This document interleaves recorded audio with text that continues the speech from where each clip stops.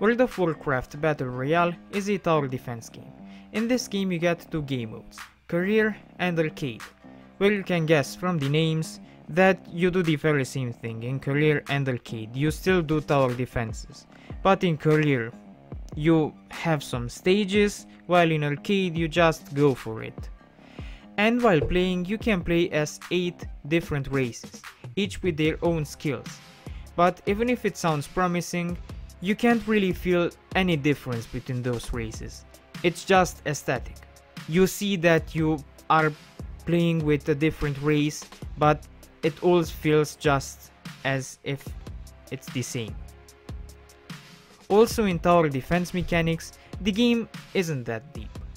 And that gets bothersome fast. The game gets boring in the first 10 minutes you play. And just imagine how it gets later if you already are bored after 10 minutes of the game. There isn't much to do in the game. You place your first defenses, and then you wait.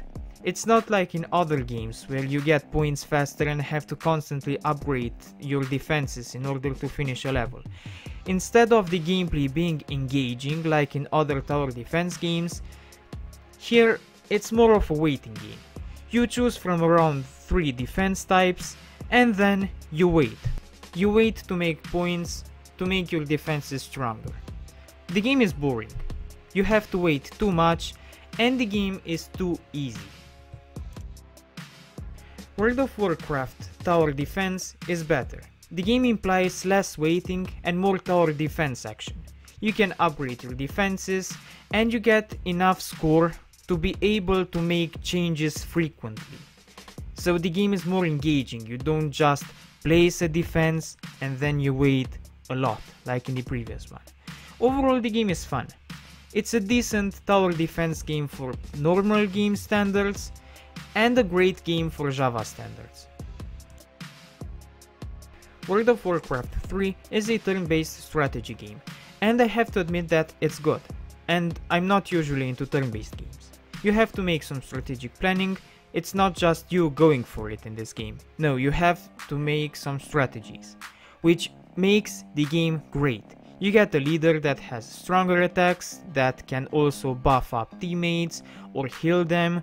You have normal short range soldiers and normal long range soldiers, but while the turn based action is great, it's annoying when the game puts you to travel on the map. You can move only in the highlighted circle, and you have to maneuver each character. And moving circle by circle is really annoying. But aside of this inconvenience, the game is good. I had fun with it.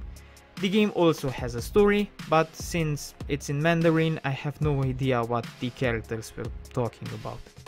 I don't know Chinese. World of Warcraft Frozen Throne is an action adventure. The game starts epic and manages to remain good.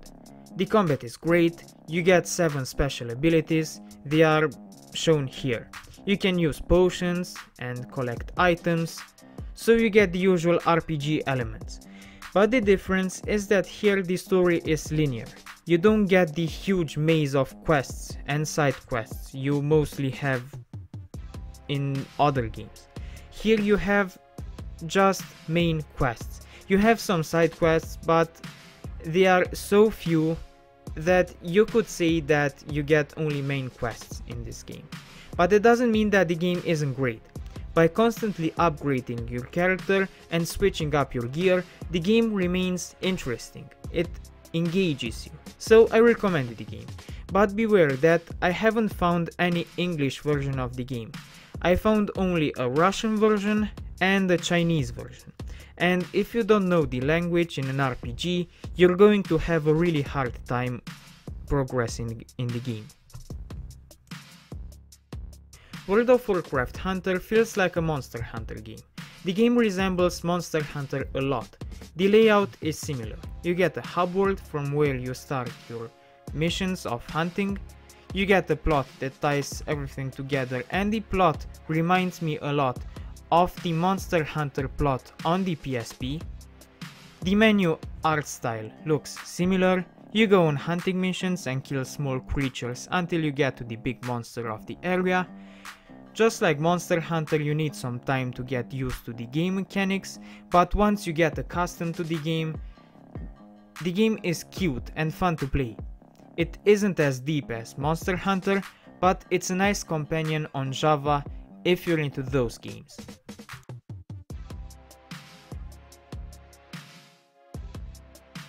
World of Warcraft Adventures is another great RPG. You get multiple special attacks and you can level up, you can switch up your gear, your weapons, your armor, and just like most RPGs on Java, the plot is very linear.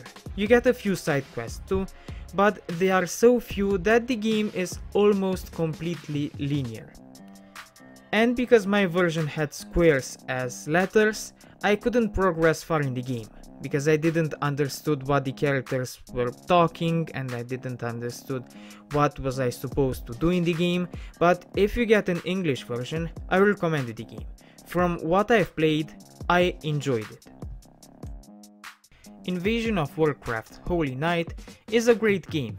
You get a village where you can roam, which is the hub world, and from here you can buy new weapons and armor, you can buy items like potions, and you can take on missions. After you take a mission, you leave the village and get into a beat 'em up section. You beat up all of the monsters on a section, then progress onto the next one. As monsters you get dogs, orcs, and these creatures, whatever they are. So enemies are varied enough. Also the controls are amazing. Hits are satisfying and you can unlock 4 special moves. All in all the game is great and I recommend it to you. Even if the game was in some overlapped Mandarin characters and I didn't understand the story, I still had fun in the game. So you don't need to know the language of the game to play the game and to enjoy it. Invasion of Warcraft 2012 is kinda bad. The game isn't broken, but it's dull. And the fact that you have no idea what the characters are talking about makes the game annoying even because you don't know what you are supposed to do in the game, so you remain stuck. Even if you were to know Chinese, you wouldn't be able to read, because the characters are overlapped. The gameplay itself is a bunch of very good gameplay elements that, when added up together, make up for a bad game. Attacks feel great, jumping feels great, you get different moves, and special attacks, but when you get to play the game, even if each of the elements composing the game are good, the overall experience is washed out. You can see the production value of the game. But for me, it just wouldn't work. I, I didn't had fun in the game. The game felt boring and not being able to read what is going on made the game even more annoying, because I got stuck. World of Warcraft Wrath of the Lich King offers a gaming experience. It stands out from the usual Java game by its toughness. The game is tough, you will have to try and retry a level multiple times in order to pass. At least the great part is that by constantly trying, you level up. There are 4 zones in the game, and each zone has different enemies and grants you new special attacks. The combat is great, each slash feels satisfying and there are hazards in the levels too. Overall the game is great, especially for the challenge seeking players. Sure, the game tends to be more of a game where you will die anyway, until you gather enough XP to level up and pass. But even if you could count this feature as a flaw, the game still is fun. I mean, I had fun, even if this would count as a flaw and as a major flaw of the game. I had fun nonetheless, and I recommended the game. Warcraft cartoon version The First Fan is a fan-made game. I've played this before, and it had another title. I don't know what the name of the original game is, but I know that this game circulates the internet with many titles. In the game you choose from 3 characters and go in dungeons and on fields to kill monsters. I don't know what the purpose of the game is because I don't understand the language and because I don't know what's going on in the game and what the purpose of the game is. I won't, I went aimlessly in the game, and because I didn't have any purpose, I got bored fast. So play this game only if you know Chinese.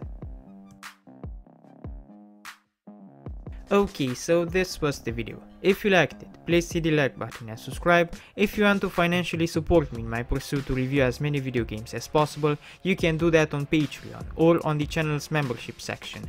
You would help me a lot. If you want, you can follow me on Twitch, Instagram or Discord. And if you want to see another video of mine, just wait till I stop talking and there will be thumbnails of other videos I've made. Thanks for watching.